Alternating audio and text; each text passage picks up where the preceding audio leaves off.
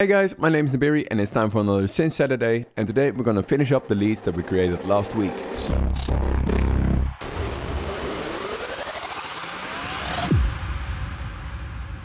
So what we're gonna do today is first of all we're gonna route all the layers to a bus.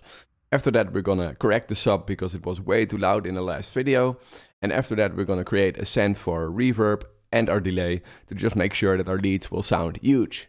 And as always, leave a comment down below. Let me know you were here. Let me know what you liked, disliked. If you have any questions, I'll do my best to answer them. But without further ado, let's start finishing those leads. So the first thing we're gonna do is we're gonna hop into the mixer and we're gonna pull down the uh, bass. It was just way too loud and we just need to correct this so that the lead is a little bit more in balance.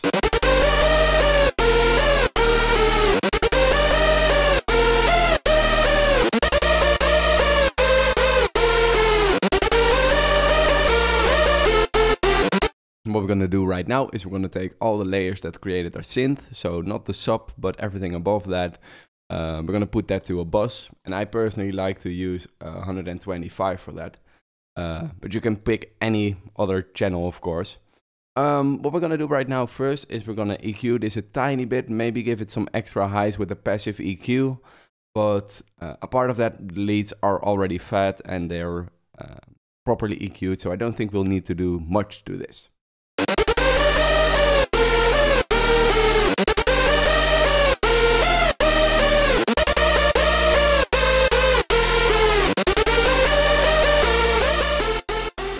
A neat thing about the passive EQ is that it just adds some proper brightness to your leads.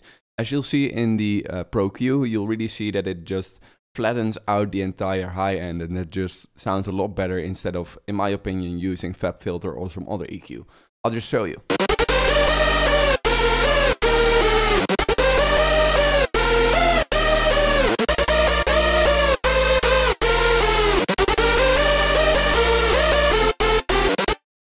Hopefully what I did with my mouse kind of explained it. Normally it just curves down a little bit, but with that passive EQ, it just stays a little bit more uh, linear. And with adding this passive EQ, I don't really think we need to do much to the leads anymore. So let's just start making our reverb send. So to start making our reverb send, we're gonna first pick our reverb, of course. And I just like to use Valhalla Room, just because it's easy to work with and it just sounds great. If you're still using FL Studio stock reverb, I would suggest you maybe just get a better reverb because getting Valhalla Room for myself just changed my sound design and it just made it a lot better. Now the first thing that we're going to talk about is the mix. This channel that we're working on is a send channel, so everything that comes through this channel should be wet with the reverb we're creating right now. And then the pre-delay. The pre-delay is just important to create some more space in between the notes of the synth and the time before the reverb comes in. And what I personally really like is to use it, put it around somewhere like 200 milliseconds. If you're um, really want to be technical, if you put your BPM at 155 and you go to one beat, you see it's uh, 380 milliseconds. And what I would like to do is I'd put my reverb or my pre-delay at 190 at this moment. And if you would uh, use 150 BPM, then your uh, first count would be at 400 milliseconds. So then I would put the pre-delay at 200 so that the pre-delay would start at a half beat. This way you just create some space in between your notes of your melody and the time before the reverb comes in. And that generally just makes your reverb sound more huge. So now that we have our mix and our pre-delay set, we're gonna tackle the decay. And for hardstyle, we just like huge reverb. So I want to crank this two seconds up to something in between six and nine. Just play around a little bit with it. But I personally really like to use like 6.92.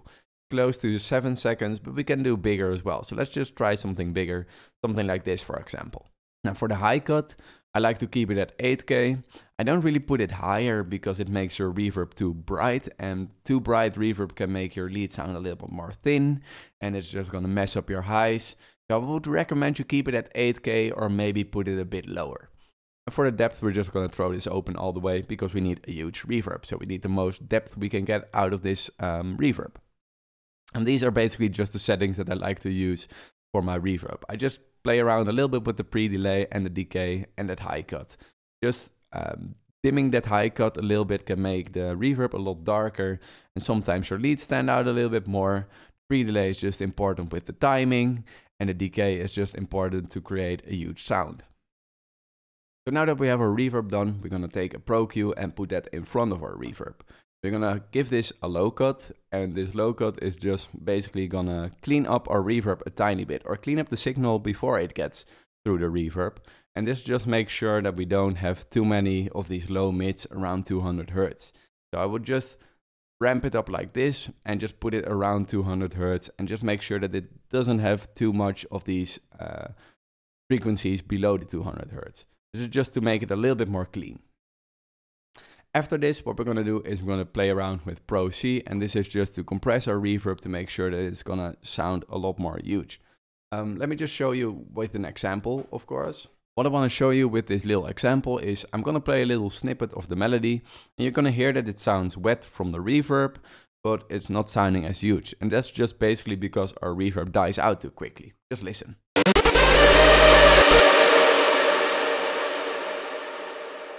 It's already way too far in the background, right? And what we want to do with this Pro C is we just put this on here and it's really easy in Pro C. I just throw down the threshold and I raise the output level just a tiny bit.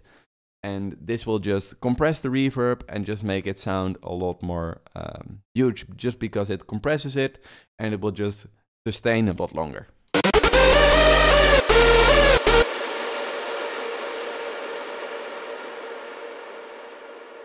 Keeps going and going and going until it's finally fading out. But I just like to use this method to just um, give my reverb just a little bit of a bigger feeling.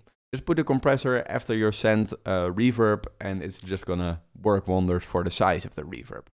Now just a short tip, if you don't have the uh, Pro C, and I think that's possible, if you just take any compressor and sort of follow these settings, it's just gonna give you the same thing. Um, the reason why the gain is just a lot louder over here is just because in Pro C, we have this auto gain and that just raises it by like 5 decibels. So if you don't have a Pro C, maybe screenshot this, take some compressor and put them to round about these settings and you're sure to just have a bigger reverb with just an easy compressor.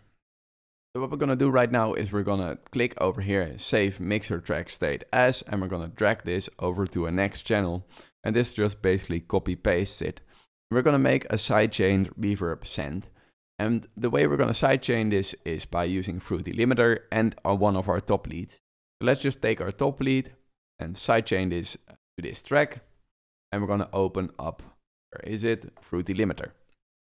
In the Fruity Limiter, you go to the compressor side, pull down the threshold, make sure that it's recognizing our top lead, and pull up the knee a little bit. And what this is going to do is it's going to bring the reverb down when the synth is playing, and in between the notes, when there's nothing playing, it's just gonna push it up again. And we're just gonna play around with this to make the reverb even bigger.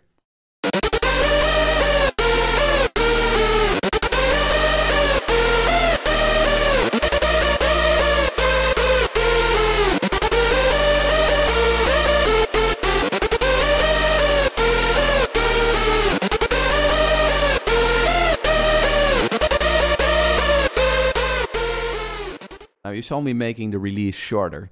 And this basically just is to make uh, the release a little bit faster, of course, and it's just gonna let that reverb come through a little bit faster. And just because this melody doesn't really have that much open spaces in between the notes, we just might want to use some of that to just uh, give our reverbs just a little bit more room.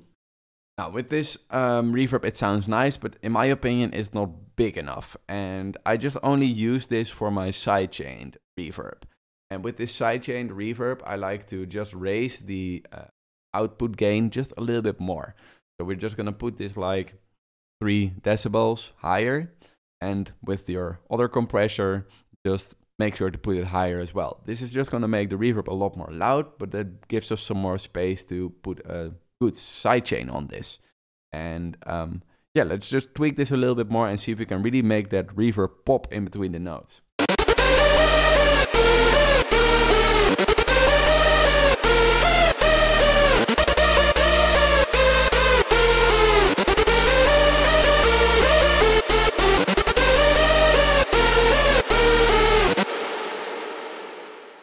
Now do you hear when that reverb just hits in your face when there's no melody playing? That basically was what I was going for.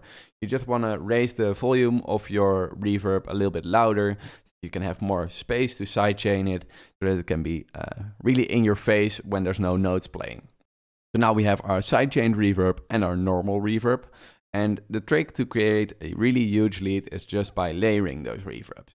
So if we just uh, put the other one on again, it's just gonna uh, complement each other. It's just gonna help so much. The normal reverb without the sidechain is just gonna be in the background. It's just gonna make sure that the notes that are playing will sound wet, but not too much.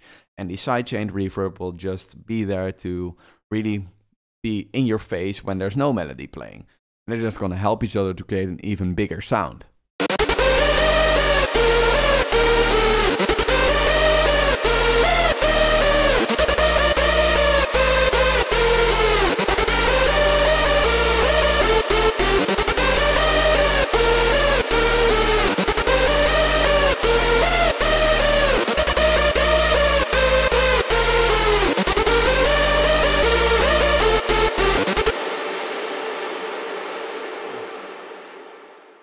I just turned down the uh, send amount just a tiny bit, but that's the only thing that you really need to do. Right now you have two huge reverbs that are complementing each other and as you're hopefully hearing, this lead is just sounding huge and that's what we really needed.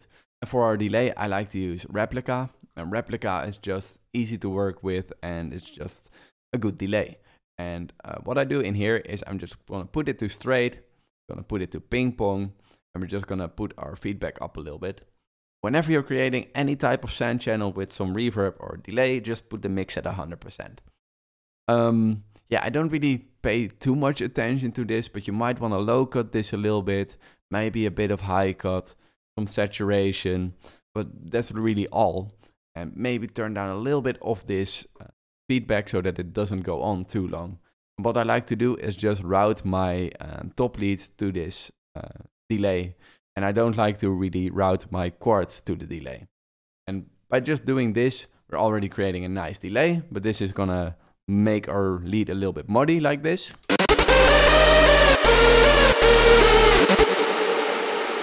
It's just all the way through there. And what I want to do is, first of all, just make it a little bit shorter. And a part of that, I want to put a fruity limiter on here again. And this fruity limiter is just gonna work just like the sidechain. It's just gonna make sure that this delay is only coming through when there's no notes playing. So this delay will just be when our melody has faded out. We can just have some echo going.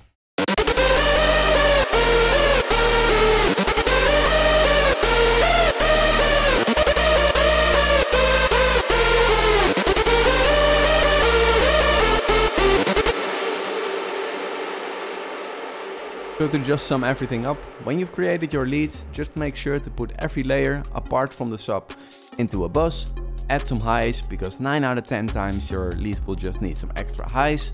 And when you want to create that reverb, just take your reverb, put your mix to 100% because you're working on a send channel, make sure to set your pre-delay to half a beat, and take the decay and just make it something big in between 6 and 9 seconds.